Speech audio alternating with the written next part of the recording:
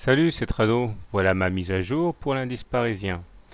Séance de consolidation minimale pour euh, l'indice parisien, puisque euh, normalement on aurait dû aller chercher la moyenne mobile à 20 séances. Ici, question d'acter son passage en force, mais on n'a même pas réussi tellement les forces acheteuses étaient fortes.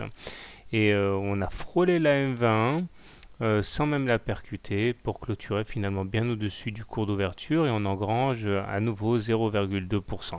Il y a des forces acheteuses et il est clair que l'objectif que tous les haussiers ont en vue est euh, la résistance à 3680 qui à mon avis devrait être ralliée assez rapidement.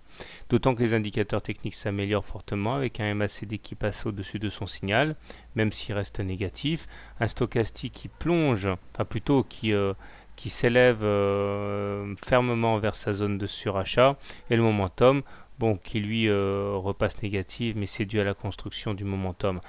Euh, alors, la moyenne mobile à 20 séances est toujours décroissante et nous sommes au-dessus, ce qui, à mon sens et au regard de mon système de trading, signifie que nous sommes toujours sans tendance, donc ni haussière ni baissière, ce qui rend très difficile les, euh, la prise de position en trade, puisque, encore une fois, euh, les, vendeurs et les acheteurs sont un petit peu dans l'expectative, sans guide euh, clair.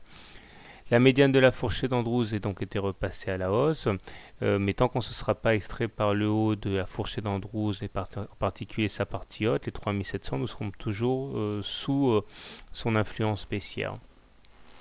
Alors, euh, comment trader euh, le CAC?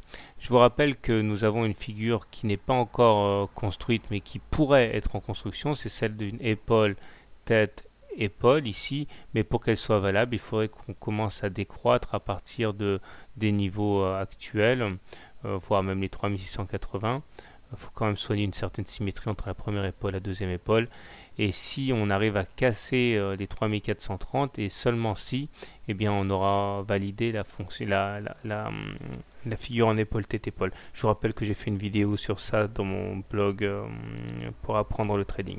Alors si vous êtes haussier, vous pouvez euh, partir du principe que la M20 est solide maintenant, qu'elle a été cassée à la hausse, maintenant elle va être une résistance à la baisse, un support clairement. L'idée serait d'acheter au plus proche de la M20 Mettre un stop loss en cas de clôture sous la M20. Objectif premier en intraday, aller chercher 3680 et pourquoi pas plus hein, si, euh, si on est bien orienté.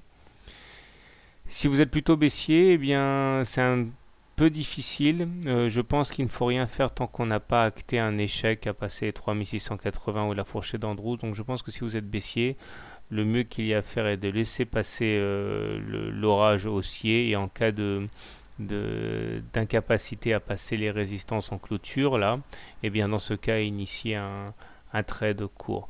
Mais là, euh, si vous shortez sur les niveaux actuels, peut-être que vous aurez raison, vous, avez, vous aurez raison, mais euh, c'est risqué, hein, c'est pas, pas très raisonnable de faire ça.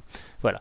Personnellement, et comme je l'ai déjà dit hier, étant donné la configuration actuelle, je ne suis pas forcément actif sur le CAC. J'aurai un léger biais positif quand même. Euh, mais je ne, je, ne, traite jamais quand on est sans tendance claire. Voilà, donc sans tendance, mais légère préférence pour le trade long. Bonne soirée, bon trade, à demain.